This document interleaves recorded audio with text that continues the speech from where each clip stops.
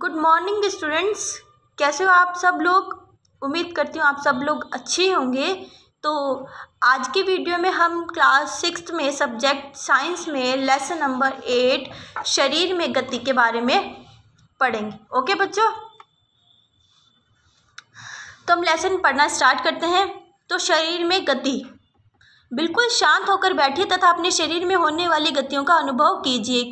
आप समय समय पर अपनी पलकें तो झपकाते ही होंगे। श्वास लेते समय अपने शरीर में होने वाली गतियों का प्रेक्षण कीजिए।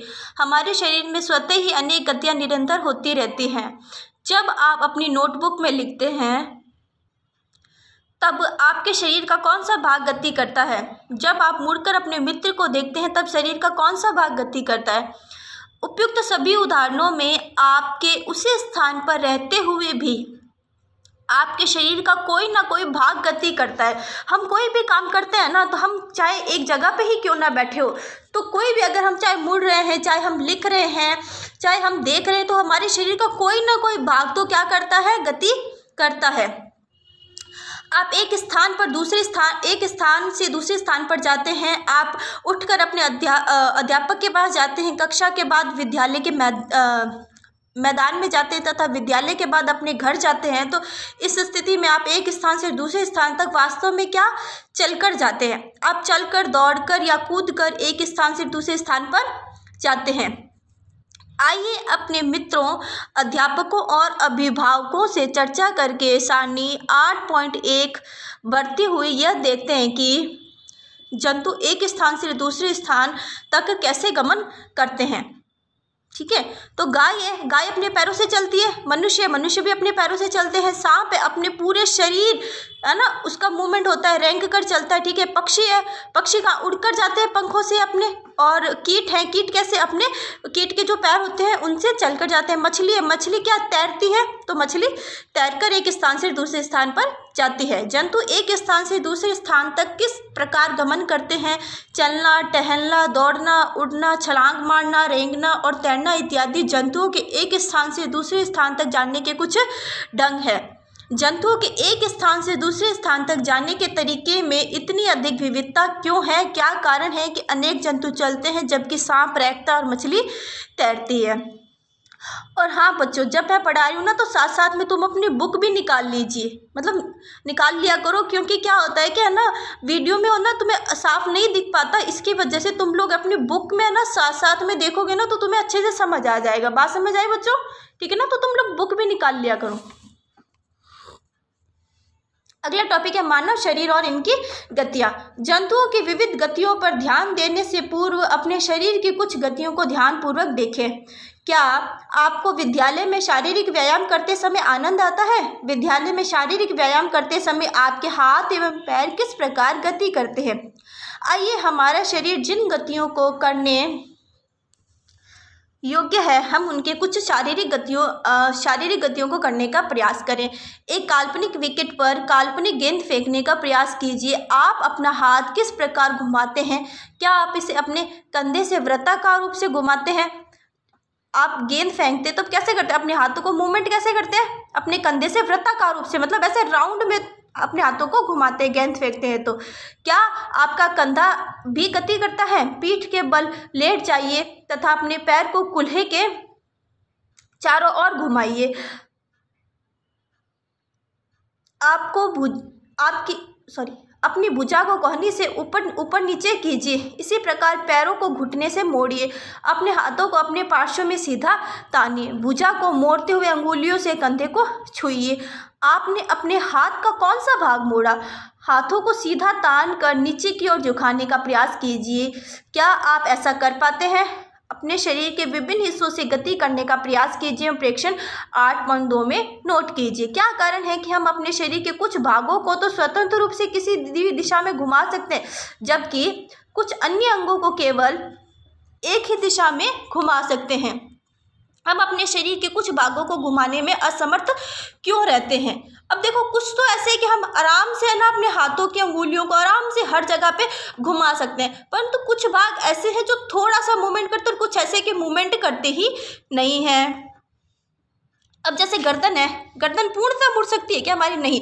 गर्दन राइट और लेफ़्ट इतना ही देख पाती है, या ऊपर या नीचे। पूरा एकदम, पूरा ऐसे राउंड नहीं घूम पाती ना तो अंशतः रूप से घूमती। जैसे कलाई होगी तो कलाई तो घूम पाती है पूरा आराम से। अंगुलियाँ हैं, अंगुलियाँ देखो सिर्फ़ इतना। ऐसा थोड़ी ना कि ये वाली ये वाली जो है ना, ऐसे मुड़ रही है, ठीक है? ऐसा थोड़ी ना, ये वाली देखो। ये वाली घूम रही है ना राउंड हो रहा है ना, अंगुलियों का क्या होता है मूवमेंट अच्छे से हो पा रहा है। ऐसा थोड़ी ना कि ये यहाँ से चलेगी, फिर ऐसे ऊपर भी चली जाएगी। नहीं, इसका भी मूवमेंट क्या सीमित है ना, ये नीचे ही, नीचे की तरफ़ मुड़ेगी। ऐसा थोड़ी ना कि ऊपर की तरफ़ मुड़ जाएगी, नहीं मुड़ेगी ना, ऐसा होता है, ठीक है? और घुटने हैं, घुटने भी देखो, अपने हिसाब से थोड़ा सा मूवमेंट करते हैं, एड़ी है, एड़ी भी थोड़ा बहुत मुड़ती है, ठीक है ना? पीठ है, पीठ भी थोड़ा बहुत ही मुड़ती है। पूरा पीठ थोड़ी ना मुड़ जाता है, पूरा गोल में घूम थोड़ी जाता है, ठीक है?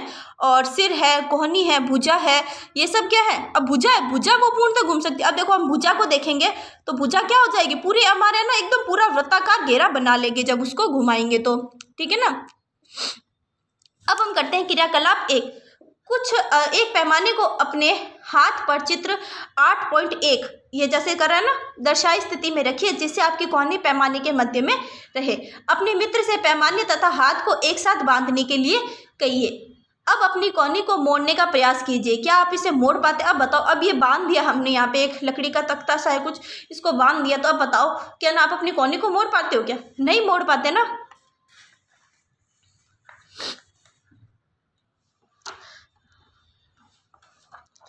ठीक है बच्चों तो हमारा अगला पेज लेते हैं अभी। क्या आपने ध्यान दिया है कि हम शरीर के विभिन्न भागों को उसी स्थान से मोड़ अथवा घुमा सकते हैं जहाँ से दो हिस्से एक दूसरे से जुड़े हो? अब देखो, अब को, अब ये हमारा हाथ है तो यहाँ पे हमें ना उसी स्थान से घुमा सकते हैं तो जहाँ पर एक दूसरे जैसे अंगुली है। अंगुली क्या अंगुली देखो, अब हम उसी स्थान से, यहाँ से, यहाँ पे क्या जॉइंट है ना, तभी इसको मोड़ सकते हैं। ऐसा थोड़ी ना कि अब यहाँ से मोड़ सकते यहाँ पे कोई जॉइंट नहीं है तो ये ये, ऐसा थोड़ी नहीं यहाँ से मुड़ जाएगा, नहीं मुड़ेगा ना। अब देखो, कलाई है कलाई है, कलाई में देखो यहाँ पे जॉइंट है, तभी तो यहाँ से मुड़ रहा है, ठीक है ना? तो हम बोलते हैं कि भाई जहाँ एक दूसरे से जुड़े हो, उदाहरण के लिए कोहनी, कंधा अथवा गर्दन, क्या आप ऐसे कुछ अन्य भागों के नाम बता बता सकते हैं? इन स्थानों को क्या कहते हैं? संधि कहते हैं। जहाँ से कोई दो भाग एक दूसरे से जुड़े हुए होते हैं, उन भागों को क्या कहते हैं? उन स्थानों को क्या कहते हैं? संधि कहते हैं। यदि हमारे शरीर में कोई संधि नहीं होती तो हमारे विचार में क्या हमारे लिए किसी भी प्रकार की गति करना संभव है? अगर हमारे शरीर में कोई संधि नहीं होती तो क्या हम किसी भी प्रकार की कोई गति कर पाते क्या? नहीं कर पाते। वास्तव में इन संधियों को कौन सी वस्तु परस्पर बांधती है? अपनी उंगलियों द्वारा अपने सिर, चेहरे, गर्दन, नाक, कान, कंधे के पीछे हाथ, पैर, अंगुली एवं पदा उंगलियों को दबाइए। क्या आपको ऐसा अनुभव हुआ कि मतलब अपनी अंगुली किसी कठोर वस्तु को दबा रही है, ये कठोर संरचना अस्थियाँ हैं। अब देखो, हम अपने हाथ से अगर मान लो तुम अपने दूसरे हाथ को दबाते हो, तुम ऐसा देखते हो कि यहाँ पे कुछ है ना, ऐसे कठोर सा है। वो कठोर क्या है? वो कठोर है अस्थि। क्या है? अस्थियाँ हैं।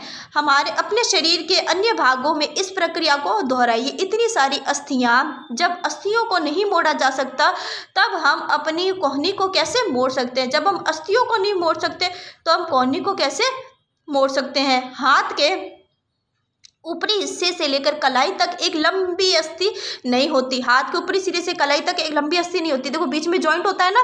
हाँ। इसी प्रकार अस्थि नहीं होती, वास्तव में अनेक अस्थियाँ कौनी तक जुड़ी रहती है। बहुत सारी अस्थियाँ होती है जो कोहनी तक क्या होती है? जुड़ी रहती है। कोहनी तक, समझ गए ना? इसी प्रकार हमारे शरीर के प्रत्येक हिस्से में अनेक अस्थियाँ हैं। हम अपने शरीर को कैसे उसी स्थान पर हिला या झुका नहीं सकते जहाँ वह अस्थियाँ एक दूसरे से मिल, मिलती है। विभिन्न गतिविधियों और विभिन्न प्रकार की गतियों के लिए हमारे शरीर में अनेक प्रकार की संधियाँ होती है। आइए इनमें से कुछ के बारे में जानें। अब बहुत सारी संधियाँ होती है इसके इसके बारे में हम लोग अभी देखेंगे। एक हमारी संधि है कंदुक खल्लिका संधि, ठीक है? अब कंदुक खल्लिका संधि देखते हैं क्या है। कागज़ की एक पट्टी को एक बेलन सिलेंडर के मोड़ में, मोड़ के रूप में मोड़िए। कागज़ की एक पट्टी लीजिए और उसको एक है ना ऐसे बेलन के जैसे गोल सिलेंडर के जैसे मोड़िए, रबर तथा प्लास्टिक की एक पुरानी गेंद में एक छेद करके, प्लास्टिक की या कोई रबड़ की जो पुरानी गेंद है ना, उसमें छेद करके किसी के निक्षेपण में उसमें एक मोड़े गए कागज़ के बेलन को डाल लिया। अब कोई प्लास्टिक की गेंद उसके अंदर छेद करके जो हमने कागज़ मोड़ा, उसको अंदर, उसके अंदर डाल देना है। जैसा कि चित्र आठ पॉइंट दो में दर्शाया गया है, क्या आप कागज़ के बेलन, अब ये देखो ऐसा, ये कोई प्लास्टिक गेंद इसमें छेद करके ये कागज़ का एक बेलन डाल दे, ठीक है?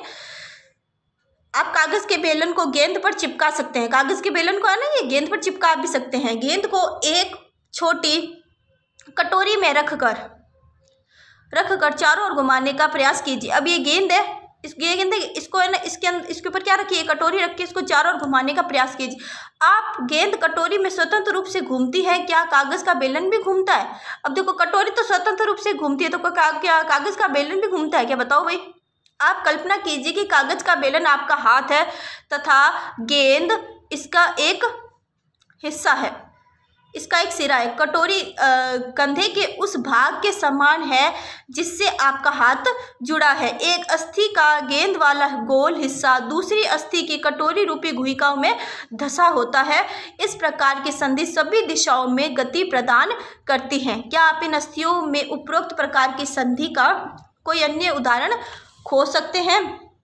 इस अनुभाग के प्रारंभ में शरीर के विभिन्न भागों को हमारे द्वारा दी गई गतियों का स्मरण कीजिए। अब ये देखो जब हमारे ये आ, कंधा होता है ना कंधा जो जब हम अपना पूरा हाथ को मूवमेंट करते हैं ऊपर से तो जो हमारा कंधा होता है ना कंधे की तरफ़ इस इस प्रकार का जोड़ जॉइंट होता है। जैसे हमने यहाँ पे देखा था ना तो कटोरी तो पूरी स्वतंत्र रूप से घूम रही थी पर यह कागज़ का वो जो बेलन है वो नहीं घूम रहा था सिर्फ़ और सिर्फ़ ये कटोरी घूम रही थी। ऐसे ही यहाँ पे जैसे हमारे हाथ है ना ये मान लो एक गेंद की तरह ठीक है ना गेंद की तरह और ये क्या हो गया एक आ, कोई कागज़ का जैसे ना बेलन हो गया और ये कोई उसके अंदर गेंद के अंदर धसा रखा है ठीक है ना?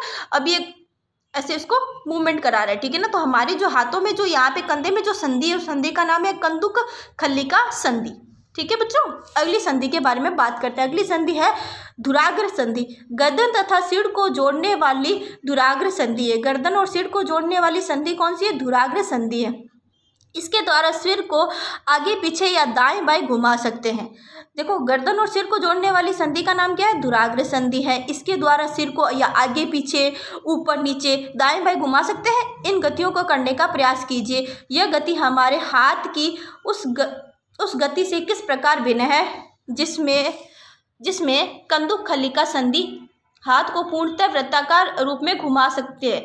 दुराग्र संधि में बेलनाकार अस्थि एक छल्ले में घूमती है। अब इसमें देखो, इसमें और उसमें क्या डिफरेंस है? इसमें और उसमें क्या डिफरेंस है? दुराग्र संधि और कंदुक खलिका संधि में इसके अंतर्गत जो अंग इससे जुड़ा हुआ था, गेंद से, वो क्या कर रहा था? पूरा वृत्ताकार दिशा में घूम रहा था। पर इस कंडीशन में दुराग्र संधि में हमारा जो गर्दन है, वो पूरी तरह से वृत्ताकार नहीं घूमता, सिर्फ़ दाएँ बाएँ घूमता या ऊपर नीचे या आगे पीछे घूमता है। ओके बच्चों? जिसमें हाँ ठीक है? हाथ को पूर्णतः वृत्ताकार घुमा सकते हैं और दुराग्र संधि में बेलनाकार संधि एक छल्ले में घूमती है। ये देखो, ये क्या है? एक छल्ले जैसे और इसके अंदर ये घूमती है। बात समझ आ गई? ये हमारा हो गया ऊपर मस्तिष्क और गर्दन का जो हिस्सा है, वहाँ पे जो संधि होती है, उसको क्या कहते हैं? दुराग्र संधि कहते हैं। अब बात करते हैं हिंज संधि। घर के किसी दरवाजे को बार बार खोलिए और बंद कीजिए। कब्जे को ध्यानपूर्वक देखिए। यह दरवाजे को आगे और पीछे की ओर खुलने देता है। अब देखो, इसके अंदर हम देखते हैं क्या करता है दरवाजे। को आगे पीछे खुलने देता है ना? यही तो करता है दरवाज़ा। ठीक है ना? अब क्रियाकलाप देखते हैं। आइए कब्जे की गति के प्रकार को देखें। एक मोटे कागज़ अथवा गत्ते का एक बेलन बनाइए। एक मोटे कागज़ या गत्ते का एक बेलन बनाना ऐसा। ठीक है? बना लिया? बेलन बनाइए, जैसा कि चित्र आठ पॉइंट पाँच में दिखाया गया है। चित्र के अनुसार गत्ते अथवा कागज़ के बेलन के मध्य में छेद करके एक छोटी पेंसिल लगाइए। इसके अंदर मध्य एक छेद करके एक छोटी क्या लगानी है? पेंसिल लगानी है। लगा ली एक पेंसिल? लगा ली? एक ही पेंसिल लगानी है, ठीक है ना? ये तो ऐसे लग रहा है दो, नहीं दो नहीं, एक ही पेंसिल लगानी है, ठीक है ना? गत्ते का एक और टुकड़ा लेकर इसको इस प्रकार मोड़िए कि ये आधा बेलन बन जाए, जिस पर दूसरे बेलन को सरलता से घुमाया जा सके। अब क्या करना है कि गत्ते का एक दूसरा भाग और लेना है उसको इस प्रकार मोड़ना है कि भाई वो आधा बेलन बन जाए। जैसे ये देखो, ये नीचे की तरफ़ एक पीला वाला पार्ट दिख रहा है ना, ये क्या हमने गत्ते का पूरा एक गोल वाला हिस्सा लिया, फिर उसको आधा काट दिया तो कैसे बन गया? आधा। फिर उसके अंदर जो हमने गत्ता और उसके अंदर जो पेंसिल डाली थी छेद करके, वो वाला इसके अंदर रख देंगे, ठीक है?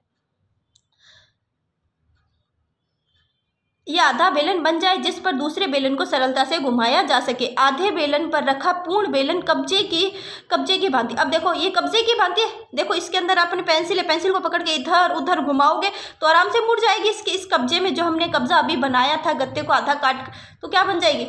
ऐसे ऐसे इधर, उधर घूम जाएगी आराम से कब्जे की तरह और पेंसिल लगे बेलन को चलाने का प्रयास कीजिए। क्या इस प्रकार गति करता है?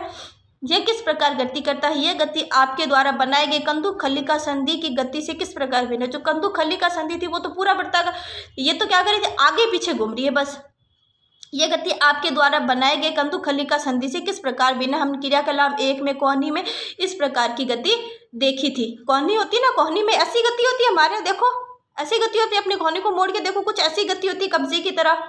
ठीक है? ये देखो जो कुछ हमने हमने बनाया था, वह एक हिंज से भिन्न है। वह एक हिंज से भिन्न है। इससे यह पता चलता है कि हिंज एक दिशा में गति होने देता है। कोहनी में हिंज संधि होती है, जिससे केवल आगे या पीछे एक ही दिशा में गति हो सकती है। जो कोहनी होती है ना, उसमें कैसी होती है? एक ही संधि होती है, हिंज संधि होती है, जिसमें क्या होता है क्या ना, गति कैसे होती है? एक ही दिशा में। एक ही दिशा मतलब एक ही प्रकार की गति, जैसे आगे पीछे गति हो सकती है। क्या आप ऐसी संधि के कुछ और उदाहरण सोच सकते हैं। अब हम बात करते हैं अगली संधि के बारे में, अचल संधि। हमारे सिर की अस्थियों के बीच की कुछ संधियाँ, उन संधियों से भिन्न है जिनकी चर्चा हमने अब तक की है। ये संधियाँ इन संधियों पर हिल नहीं सकती। ऐसी संधियों को क्या कहते हैं? अचल संधि कहते हैं। अचल संधि मतलब वह संधि जिसके अंतर्गत हमारी अस्थि हिल नहीं सकती। जिसके अंतर्गत हमारी संधि हिल नहीं सकती, वैसी कोसी जिसके अंतर्गत हमारी कोई अस्थि हिल नहीं सकती, ऐसी संधि क्या कहलाती? है अचल संधि कहलाती। है जब आप अपना मुँह खोलते हैं तो आप अपने निचले जबड़े को सिर से दूर ले जाते। हैं आप अपना मुँह खोलो, मुँह खोलोगे तो जो निचला जबड़ा है ना, वो तो आपके है ना, इस ऊपर वाले मुँह से क्या नीचे आ जाएगा? अब अपने ऊपरी जबड़े को हिल, हिलाने का प्रयास कीजिए। जो ऊपर वाला जबड़ा है ना अब उसको हिलाने का प्रयास कीजिए। क्या आप इसे गति दे पाते हैं? नहीं नहीं दे पाएँगे गति, ठीक है ना? ऊपरी जबड़े एवं कपाल के मध्य क्या होती है? अचल संधि। ऊपरी जबड़ा होता है और जो कपाल होता है, जो ऊपर जो सर, सिर होता है ना, सिर, वो कपाल के अंदर होता है, ठीक है ना? तो उसके मध्य जो संधि होती है, उसको क्या कहते हैं? अचल संधि। हमने केवल कुछ संधियों की ही चर्चा की जो हमारी अस्थियों को एक दूसरे से जोड़ती है। हमारे शरीर के विभिन्न भागों को विभिन्न आकृतियाँ कौन प्रदान करता है? यदि आप एक गुड़िया बनाना चाहते हैं तो आप पहले क्या बनाएँगे? संभवतः गुड़िया को एक आकृति प्रदान करने के लिए आप एक ढांचा तैयार करेंगे। सिंपल सी बात है, गुड़िया बनानी है तो गुड़िया के जैसे एक ढांचा तैयार करना पड़ेगा। आप ऐसा नहीं करेंगे, हमारे शरीर की सभी अस्थियाँ ठीक इसी प्रकार शरीर को एक सुंदर आकृति प्रदान करने के लिए एक ढांचे का निर्माण करती है। इस ढांचे को क्या कहते हैं? कंकाल कहते हैं। हमारे जो शरीर के ना, जो सुंदर आकृति है, वो किस कारण है? इसके लिए हमें एक ढांचा तैयार करना पड़ता है है ना? इस ढांचे को क्या कहते हैं? कंकाल कहते हैं। जैसे तुम लोगों ने, लड़कियाँ हैं, जैसे गुड़ियों से खेलती है तो उन्होंने देखा होगा कि जो गुड़ियाँ होती है, उनके हाथ पैर निकल सकते वैसे ही हमारे अंदर भी ऐसे हाथों और पैरों के जॉइंट्स होते हैं और ये क्या होती है? इनको क्या कहते हैं? जो ढांचा होता है हमारे शरीर का, उसको क्या कहते हैं? कंकाल कहते हैं। अब ये देखो, ये हमारे शरीर का ढांचा कुछ ऐसा दिखता है। ये देखो, ऐसा दिखता है, सबका एक जैसा ही दिखता है। हम कैसे जानते हैं कि यह कंकाल मानव की आकृति है? हम शरीर की विभिन्न अस्थियों की आकृति के विषय में किस प्रकार जान सकते हैं? शरीर के कुछ अंगों में मौजूद अस्थियों और उनकी संख्या तथा आकृति के बारे में हमें तब पता चलता है जब हम उनका अनुभव करते हैं। एक्सरे चित्र से हमें शरीर की सभी कठोर अस्थियों की आकृति का क्या लगता है? पता चलता है। एक्सरे से हमें सबकी है ना, जो एक्सरे करवाते हैं, कभी देखा होगा? आपने कभी किसी बड़े का एक्सरे देखा होगा? तो उसमें अस्थियाँ ऐसे जॉइंट हमें आराम से दिख सकता है उसमें, ठीक है? क्या कभी आपका अथवा आपके परिवार के किसी सदस्य का एक्सरे हुआ है?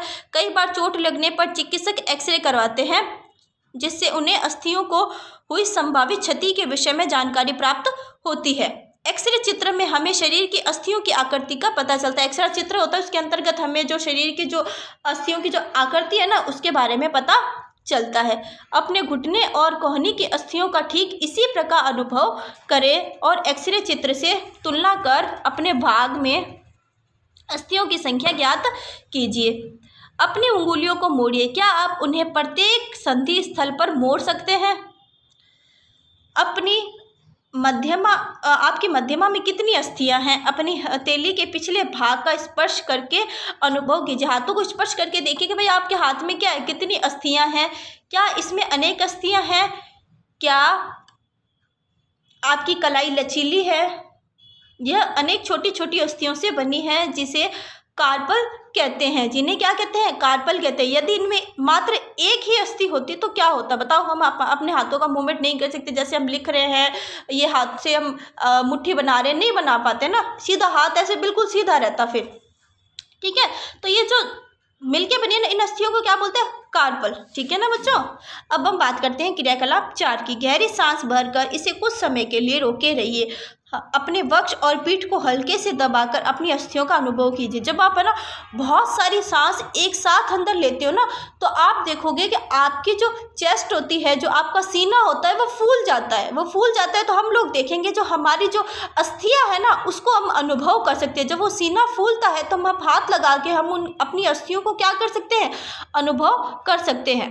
जितनी पसलियों को आप गिन सकते हैं, गिन लीजिए। अब ऐसा है कि कोई जो पतला होता है ना, उसकी अस्थियाँ तो बिल्कुल ही हमें साफ़ तरीके से गिन सकते हैं। ध्यान से देखिए, और वक्ष की अस्थियों की तुलना अपने उपयुक्त अनुभव से कीजिए। हम देखते हैं कि पसलियाँ विशेष रूप से मुड़ी हुई है। ये देखो, पसलियाँ कुछ ऐसे अनुभव करोगे, तुम हाथ लगाओगे, जब गहरी सांस भरोगे तो तुम्हें ऐसी कुछ अस्थियाँ मुड़ी हुई दिखेगी। ये वक्ष की अस्थियाँ एवं मेरुदंड से जुड़कर एक बक्से की संरचना बनाती है। कैसे? एक बक्से जैसी संरचना है ना? इस शंकु रूपी बक्से को क्या कहते हैं? पसली पिंजर कहते हैं। क्या कहते हैं पसली पिंजर? तो तुमने, तुम बोलते हो कि पसलियाँ पसलियाँ करते हो ना, तुम ये होता है पसली पिंजर। इसको एक्चुअल में क्या बोलते हैं? पसली पिंजर बोलते हैं। वक्ष के दोनों तरफ़ बारह पसलियाँ होती है। जैसे वक्ष होता है ना, उसके दोनों तरफ़ कितनी, यहाँ पे भी बारह पसलियाँ और यहाँ पे भी क्या होती है? बारह पसलियाँ। ये वक्ष कुछ ऐसा होता है, यहाँ पे बारह पसली और यहाँ पे भी कितनी होती है? बारह बारह पसलियाँ होती है। हमारे शरीर के कुछ महत्वपूर्ण अंग इनमें क्या रहते हैं? सुरक्षित रहते हैं। कौन से अंग सुरक्षित रहते हैं? हृदय हो गया, फेफड़े हो गए, वो क्या रहते हैं? सुरक्षित रहते हैं। अपने कुछ मित्रों को बिना घुटने मोड़े झुककर अपने पाँव की अंगुलियाँ छूने को कहिए। क्या यह चिकनी समतल और अखंड है? अपनी अंगुलियों को अपने मित्र के गर्दन से आरंभ करके अपनी पीठ पर नीचे की ओर लाइए। आपके द्वारा अनुभव किए गए जो संरचना है वो क्या कहलाती है? मेरुदंड। जो आपकी जो पीठ के पीठ के जो पीछे की तरफ़ जो होती है ना जो हड्डी होती है, उसको क्या बोलते हैं? मेरुदंड। ऐसी अनुभव करोगे, अगर तुम हाथ लगाओगे, पीठ पे पीछे की तरफ़ तो तुम ऐसी एक हड्डी को अनुभव करोगे, ठीक है ना? इसको क्या बोलेंगे? मेरुदंड। ये अनेक छोटी छोटी अस्थियों से बनी होती है, जिसे कशेरुका कहते हैं। ये क्या है? ये देखो, ये जो मेरुदंड है, बहुत सारी छोटी छोटी अस्थियों से मिलकर बनी हुई देखो, दिख रही है ना तुम्हें? इन जो छोटी छोटी अस्थियाँ इनको क्या बोलेंगे? कशेरुका ठीक है? मेरुदंड तैतीस कशेरुकाओं का बना होता है। ये है ना, ये सारी कितनी कशेरुका ये कितनी है? थर्टी थ्री, तैतीस कशेरुकाएँ हैं। पसली पिंजर भी वक्ष क्षेत्र की इन अस्थियों से जुड़ा है। जो पसली पिंजर होता है ना, वो भी है ना, ये वाला जो पसली पिंजर है, वो भी क्या इससे जुड़ा हुआ होता है। यदि मेरुदंड केवल एक ही अस्थि का बना होता है तो आप अपने मित्र इस प्रकार नीचे झुक सकता था? अगर मान लो मेरुदंड क्या है? अगर एक ही अस्थि का बना होता तो बताओ, हम नीचे झुक सकते थे क्या? नहीं, क्योंकि ये बहुत सारी अस्थियों का मिलके बना हुआ, इसलिए हम क्या है मूवमेंट कर सकते। अगर एक ही अस्थि का बना होता, ऐसे होता तो हम झुक सकते क्या? नहीं झुक सकते थे हम। अपने मित्र को खड़े होकर अपने हाथों से किसी दीवार को धक्का लगाने को कहिए। उससे कहिए कि मेरुदंड अपने हाथ से दीवार पर धक्का लगाने का प्रयास करें। मतलब ऐसे अपने हाथों से दीवार के ऊपर धक्का लगाने का प्रयास कीजिए। आपको अपने कंधे समीप दो उभरी हुई अस्थियाँ दिखेगी। जब आप, है ना, कोई धक्का लगाते हो, नीचे के है ना, दीवार के ऊपर धक्का लगाओगे तो जो अस्थियाँ ना, पीछे की तो मुड़ी हुई दिखेगी उभरी हुई अस्थियाँ दिखाई देती है। इन्हें क्या कहते हैं? कंधे की अस्थियाँ कहते हैं। इन्हें क्या कहते हैं? कंधे की अस्थियाँ। ये देखो, ये मुड़ी हुई होती है ना, तुम लोग देखते ही हो बहुत बार, अनुभव करते हो ना तो ये जो मुड़ी हुई अस्थियाँ होती है, ठीक है? ये क्या होती है? कंधे की अस्थियाँ होती है। आठ, चित्र आठ पॉइंट तेरह को ध्यानपूर्वक देखिए। यह संरचना श्रोणी अस्थियाँ है। यह बॉक्स के समान एक ऐसी संरचना है जो आपके अमाशय के नीचे पाए जाने वाले विभिन्न अंगों की क्या करती है? रक्षा करती है। यह कुल्हे वाला कुल्हे वाला वह हिस्सा है जिसके सारे आप बैठते हैं। जब आप बैठते हैं ना तो इस प्रकार की अस्थि आपके जब आप बैठते हैं ना तो ये पीछे की तरफ़ कौन सी होती है? इस प्रकार की अस्थि होती है, ठीक है ना? अपनी खो, खोपड़ी अनेक अस्थियों के एक दूसरे से जुड़ने से बनी है। जो हमारी खोपड़ी है ना, वो भी बहुत सारी अस्थियों के एक दूसरे से जुड़ने से बनी है। यह हमारे शरीर के अति महत्वपूर्ण अंग मस्तिष्क को परिशुद्ध करके हमारी क्या करती है? सुरक्षा करती है। इस खोपड़ी के अंदर क्या होता है? हमारा मस्तिष्क क्या होता है? बंद होता है, जिससे हमारे मस्तिष्क की क्या होती है? सुरक्षा होती है। हमें अपने, हमने अपने कंकाल की हमने अपने कंकाल की बहुत सी अस्थियाँ तथा संधियों के बारे में चर्चा की है। कंकाल के कुछ अतिरिक्त अंग भी है जो हड्डियाँ जितनी कठोर नहीं होती और जिन्हें मोड़ा जा सकता है। मतलब कुछ हड्डियाँ ऐसी भी है कि जो जो इतनी ज़्यादा कठोर नहीं होती और उन्हें क्या किया जा सकता है? मोड़ा जा सकता है। उनको क्या कहते हैं? उपास्थि कहते हैं। क्या कहते हैं उनको? उपास्थि कहते हैं। ठीक है बच्चों? तो आज के लिए इतना ही। नेक्स्ट वीडियो में हम यहाँ से स्टार्ट करेंगे और लेसन कंप्लीट पढ़ेंगे। ओके बच्चों, आज के लिए इतना ही। Thank you so much